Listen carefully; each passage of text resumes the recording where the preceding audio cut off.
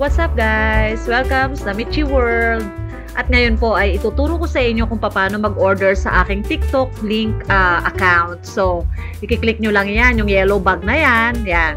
And then, uh, punta kayo sa gusto nyong products. Yan. Piliin nyo kung anong products ang gusto nyo.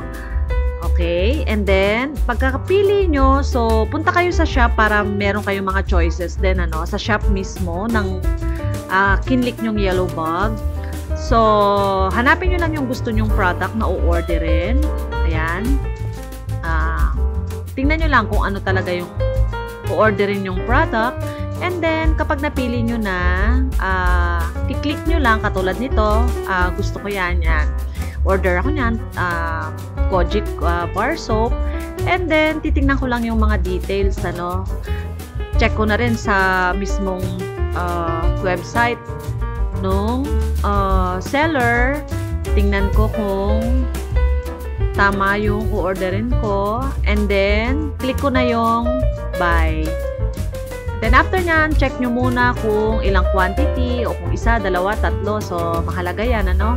And then, syempre, uh, dapat i-check nyo kung cash on delivery, kung GCash, kung anong mode of payment, okay? I-click nyo lang yon then, syempre, check nyo muna uli kung tama yung address since nakapag-order na ako before. So, this time, meron na akong record. So, i-check nyo muna. Baka meron kayong i-edit. Baka meron pa kayong i-add. So, check nyo maigi para at least uh, kapag ka wala na, uh, good to go na siya, no? Place nyo na agad yung order, okay?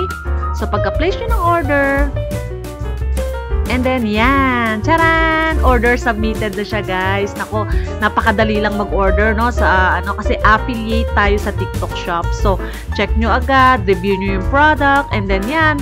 So, good to go na siya. Iintayin nyo na lang kung kailan darating yung order. So, meron namang notification sa phone nyo. Yun lang, guys. See you. Thank you so much. Bye-bye.